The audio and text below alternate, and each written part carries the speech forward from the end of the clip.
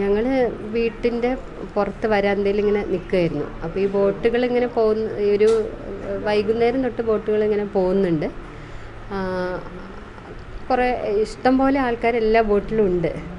അത് കഴിഞ്ഞ് ഇത് ആ ഇതിപ്പോൾ ഇപ്പം ഈ ഒരു വെക്കേഷൻ കാലത്ത് ഇവിടെ ഒരു സ്ഥിരം കാഴ്ച വിഷു വിഷു കഴിഞ്ഞതിന്റെ ശേഷം തോന്നുന്നു കൂടുതലായിട്ട് ആ ഉണ്ടായത്. അപ്പോൾ ഒരു നാല് മൂന്നോ നാലോ ബോട്ട് ഇങ്ങനെ ചെറുതായിട്ടും രണ്ട് വലിയ ബോട്ടുമാണുള്ളത് അതിലിപ്പോൾ ഈ അപകടത്തിൽ പെട്ടതിന് ഒരു ഡക്ക് ഉണ്ട് ഇങ്ങനെ ഡബിൾ ഇതായിട്ടാണ്. അപ്പം പെട്ടെന്ന് ഞങ്ങളിങ്ങനെ അവിടെ നിൽക്കുമ്പം ഈ ബോട്ട് ഇങ്ങനെ പോകുന്നുണ്ട്. ഒപ്പം ഭയങ്കര ആർപ്പ് വിളി കേട്ടപ്പോഴാണ് ഞങ്ങൾ ശ്രദ്ധിച്ചത്. സ്ഥലത്തല്ല ഞങ്ങൾ ഇവിടെ കുറച്ച് ആ ആ വീടിന്റെ ഈ ഇത്രയും പിന്നെ ഡിസ്റ്റൻസ് ഉണ്ടല്ലോ. തൊട്ടടുത്തല്ല. അപ്പോൾ ഈ സൗണ്ട് കേട്ടിട്ടാണ് ഞങ്ങൾ നോക്കുന്നത്. അപ്പോൾ ഇങ്ങനെ ബോട്ട് ചെരിയുന്നതായിട്ടും അതിന്റെ ലൈറ്റ് ഇങ്ങനെ മറിഞ്ഞു പോണതായിട്ടുമാണ് കണ്ടത്. ഉടനെ ഞങ്ങൾ ആർപ്പുവിളി കേട്ടിട്ട് ആദ്യം ഞങ്ങൾ വിചാരിച്ചു വെറുതെ കൂക്കണതാണോ എന്ന് വിചാരിച്ചു. പിന്നെ അല്ല എന്തോ ഒരു അപകടം ഉണ്ടെന്ന് തോന്നി ഞങ്ങൾ അങ്ങോട്ട് ഓടി. അപ്പോൾ അവിടെ പറമ്പിലാണെങ്കിൽ ഇരുട്ടുമാണ് അങ്ങനെ കാണാൻ വയ്യ. പിന്നെ മൊബൈലൊക്കെ എടുത്ത് ഓടി ചെന്നപ്പോഴേക്കും ഇങ്ങനെ മറിഞ്ഞ് അപ്പോഴേക്കും ഇത് മുങ്ങിക്കഴിഞ്ഞു. പിന്നെ ആ മുകളിൽ നിന്നവരായിരിക്കും കുറച്ച് പേര് ഇങ്ങനെ നിൽക്കുന്നുണ്ട് അതിന്റെ അത് പിടിച്ചുകൊണ്ട് അത് ഞങ്ങൾക്ക് അത്ര വ്യക്തമല്ല എന്നാലും കുറേശ്ശെ ഇങ്ങനെ കാണാം. ബഹളം കൊണ്ട് എന്താണെന്നൊന്നും കേൾക്കുന്നുമില്ല വ്യക്തമായിട്ട്. ആൾക്കാർ ഇങ്ങനെ ആർത്ത് വിളിക്കുകയാണ് അപ്പോൾ പിന്നെ രണ്ട് മൂന്ന് വേറെ ബോട്ടുകൾ അവിടെ വരുന്നുണ്ട് ആ സമയത്ത്. അപ്പോൾ ആ ബോട്ടിൽ ഒരു വലിയ ബോട്ടുണ്ട്. ആ ബോട്ടിലെ ആൾക്കാരെ അവർ ആ ഈ ബോട്ടിന്റെ അടുത്ത് കൂടെ പോയെങ്കിലും അതിൽ നിറച്ച ആളായിട്ടായിരിക്കും അവർ പോയി ഇറക്കാൻ പോയി. അത് നമുക്കറിയില്ല. അവരെന്താ സംഭവം എന്ന് അറിഞ്ഞൂടാ. കാണുന്നുണ്ട്. അവർക്ക് മനസ്സിലായിട്ടുണ്ട് അപകടമാണെന്ന്. പക്ഷെ അതിലാളായിരിക്കും അപ്പോൾ അവർക്കൊന്നും ചെയ്യാൻ പറ്റിയില്ല. അവർ പോയിട്ട് പിന്നെ തിരിച്ചു വരിക ചെയ്ത് ആളെ അവിടെ ഇറക്കിയിട്ട്.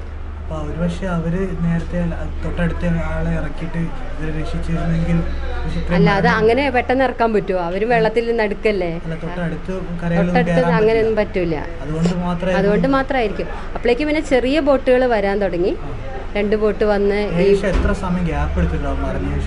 ഇതൊക്കെ ഒരു ആ അപ്പോഴേക്കും ഞങ്ങളിവിടെ ഞങ്ങൾക്ക് അറിയുന്നവരെയൊക്കെ ഫോൺ ചെയ്ത് ചുറ്റുവട്ടത്തുള്ള കുട്ടികളെയൊക്കെ നീന്തൽ അറിയാവുന്നവരും അറിയാത്തവരൊക്കെ ഉണ്ട്. ആ.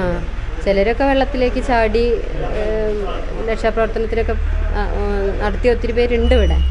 അപ്പോൾ അവർ പോയി നോക്കിയപ്പോൾ ഈ പിന്നെ എന്തോ ഇങ്ങനെ ഇതിന്റെ ഉള്ളിലൊക്കെ കുടുങ്ങി കിടക്കുന്നതായിട്ടാണ് പറഞ്ഞത് അടിയിലേക്ക്. അരമണിക്കൂറൊക്കെ കഴിഞ്ഞിട്ടുണ്ട്. അപ്പോഴേക്കും അപ്പോഴേക്കും എത്തിയിട്ടുള്ളൂ. എന്നുവെച്ചാൽ ഈ അവിടെ ഒത്തിരി ആൾക്കാർ ഈ പാല അവിടെ ഒരു പാലമുണ്ട് അതിൽ കാണാൻ നിത്യ വരാറുള്ളതാണ് സന്ദർശകരായിട്ട്. അപ്പം അവരും ഒക്കെ ഈ ഒച്ച കേട്ടിട്ട് ഇങ്ങോട്ട് ഓടി ഓടി വരും. ഞങ്ങൾക്ക് കാണുന്ന മൊബൈൽ ലൈറ്റുകളാണ് ഫുള്ള് പിന്നെ കുറേ ആൾക്കാർ ടോർച്ചും ഇതൊക്കെ ആയിട്ട് ഇങ്ങനെ അടിച്ചു കൊടുക്കുന്നുണ്ട്. ഞങ്ങളും ഒക്കെ മൊബൈൽ ഇങ്ങനെ കാണിച്ച് ലൈറ്റ് കാണിച്ചുകൊണ്ടിരിക്കുക അപ്പോൾ ഈ ബോട്ടിലുള്ള ഒരാളാണെന്ന് തോന്നുന്നു. അയാൾ ഇങ്ങനെ നീന്തി കയറി ഈ കരയിലേക്ക് വന്നു. പിന്നെ അയാൾ ഡ്രസ്സൊക്കെ മാ ഊരിയിട്ട് വീണ്ടും അയാൾ രക്ഷിക്കാൻ വേണ്ടി അങ്ങോട്ട് തന്നെ പോയി. പിന്നെ കുറച്ച് കഴിഞ്ഞപ്പോഴേക്കും ഇവിടെ ആംബുലൻസും എല്ലാം വന്നു.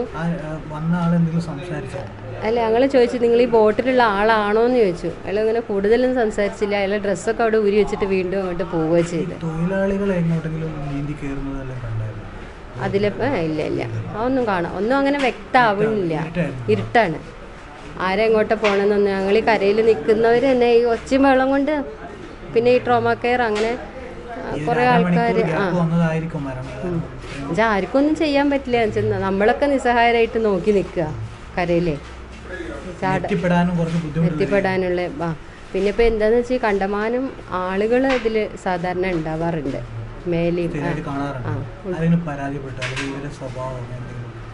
എന്നൊക്കെയാണ് അല്ല അതൊന്നും നമുക്ക് പറയാൻ പറ്റില്ല. ഇവിടെ ആൾക്കാർ ഇതിൽ മീഡിയയിലൊക്കെ പറയുന്ന കേട്ടാണ് പലരും പരാതിപ്പെട്ടിരുന്നു ഇത്ര ആളെ കയറ്റി പോവരുത് എന്നൊക്കെ.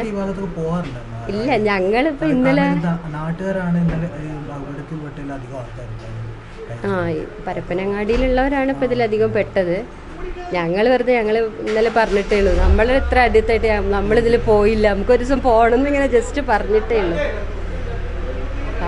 ഇപ്പോഴാണ് ഇപ്പൊ ഈ അപകടം ഉണ്ടായത്. ഓ? ആ ഷോക്ക് തന്നെയാണ്. വെച്ചാൽ ഞങ്ങൾ ഇന്നലെ ആ ആംബുലൻസ് വരുന്നതും ബോഡികൾ ഇങ്ങനെ കിട്ടുമ്പം അത് കൊണ്ടുപോകുന്നതും ഒക്കെ കണ്ടു. അപ്പം അല്ല ഒന്നാമത് നമ്മൾ ഇതൊക്കെ തുടങ്ങുമ്പോഴൊക്കെ മതിയായിട്ടുള്ള ക്രമീകരണങ്ങൾ ചെയ്തിട്ട് വേണം. ഇവിടെ ഇപ്പോൾ പെട്ടെന്ന് എന്ത് ഒരു അപകടമൊക്കെ മുന്നിൽ എപ്പോഴും ഉണ്ടാവാന്ന് പ്രതീക്ഷിക്കുക അങ്ങനത്തെ സംരംഭങ്ങളൊക്കെ തുടങ്ങുമ്പോൾ. അപ്പോൾ അതിലൊക്കെ ഒരു വീഴ്ച വന്നിട്ടുണ്ടാവും. അതുകൊണ്ടാണ് എന്നുവെച്ചാൽ പെട്ടെന്ന് റെസ്ക്യൂ പ്രവർത്തനം നടത്തി ഇവിടുന്ന് റോട്ടിലേക്ക് എത്താനും കൊണ്ടുവരാനും ഒക്കെയാണ് ബുദ്ധിമുട്ടിയത്.